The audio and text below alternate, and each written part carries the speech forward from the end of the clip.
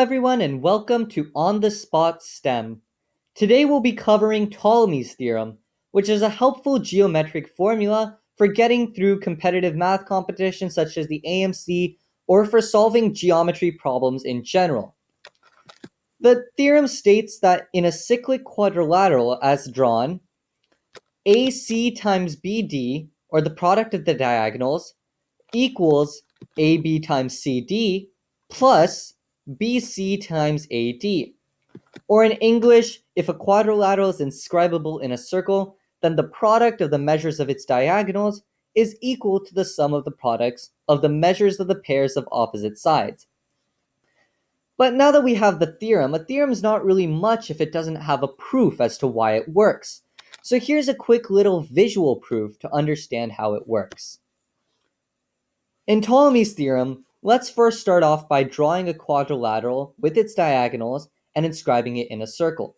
We'll label each side length as such. Now we'll take mini triangles within that quadrilateral. As you can see, this one has side lengths BC and F, and we'll scale it up by a factor of A. That's a similar triangle. We'll do the same thing with two other triangles. This one has side lengths A, B, and E, and we scale it up by a size F. Notice how AF equals FA, so those two sides that mapped onto each other are equal. Doing the same thing with this last triangle, we see that it has side lengths AD and F, and we scale it up by a side length B. As before, we can map the two onto each other. And through angle chasing, we can see that this is a parallelogram. Because it's a parallelogram, if we take the two side lengths seen, they can map directly onto each other and be equal. Or in other words, AC plus BD equals FE. And that's the basis of Ptolemy's theorem.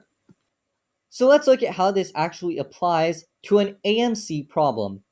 This states that in triangle ABC, we have AB equals 7, AC equals 8, and BC equals 9.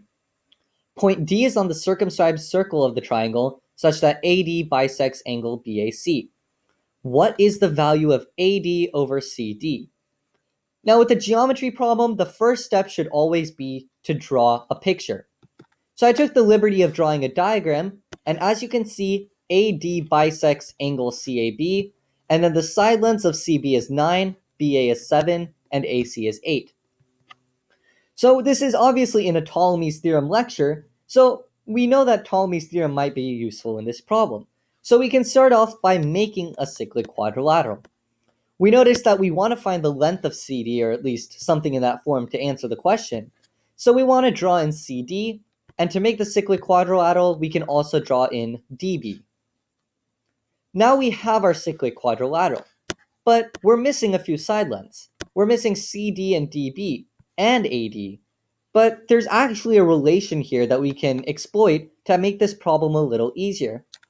And that is the fact that since angle CAD equals angle DAB, the two arcs that they intercept are equal, which means that the two segments on long those arcs, CD and DB, are also equal with side length x. Now we have finally drawn our diagram and we can start applying Ptolemy's theorem. Ptolemy's theorem states that AB times CD plus AC times DB equals CB times AD. So plugging in the values that we have from our diagram, we see that that means that 7x plus 8x, which is also 15x, equals 9 times the side length AD. We also know that x is equal to CD, so through a little bit of algebraic manipulation, if we divide by x on both sides, then we can get a ratio if we divide by 9 on both sides as well. And we notice that our answer comes out to be 15 over 9, which simplifies to 5 thirds. Looking at our answer choices, we see that this maps to answer choice B.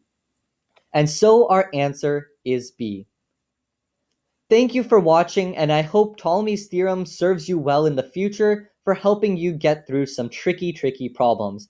If you enjoyed this video, please leave a like, subscribe for more amazing content.